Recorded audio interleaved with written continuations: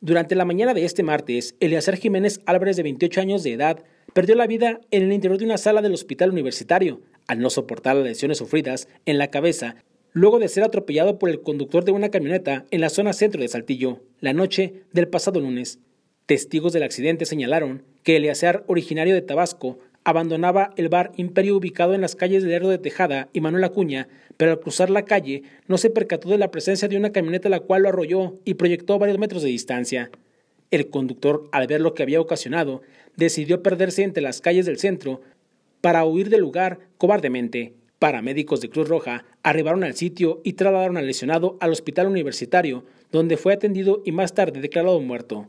Personal de la Unidad de Investigación de Homicidios tomaron conocimiento del caso y ordenaron el traslado del cuerpo al servicio médico forense para su necropsia, así como dar con el responsable y localizar a la familia del fallecido. Para RCG informó Carlos Hinojosa.